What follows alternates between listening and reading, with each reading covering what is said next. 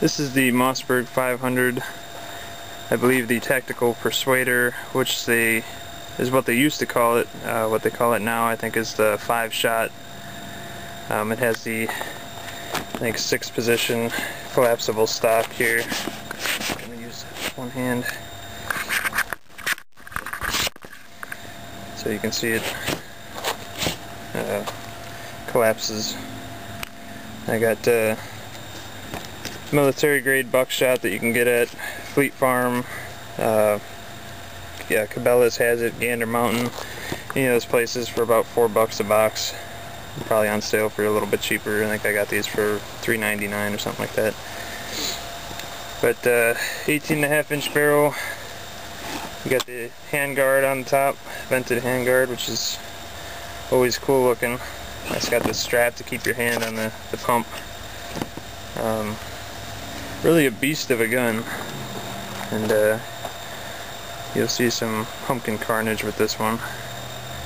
And uh, it's it's one hell of a gun. I think I picked this one up for $300 you can I think they're a little higher than that now. I bought this probably about four years ago. And uh, it's really the ideal weapon for close quarters you know home defense. Um, you can stuff it in a closet, under a bed, pretty much anywhere. It's very, it doesn't take up very much space, so it's a hell of a gun. Well worth the money in my opinion.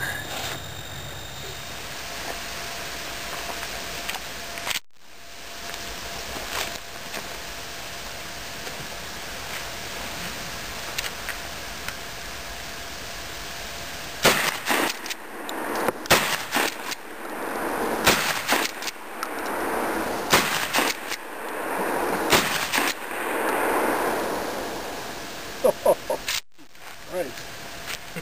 Holy cow. Absolutely devastating. Pumpkin shit on the camera.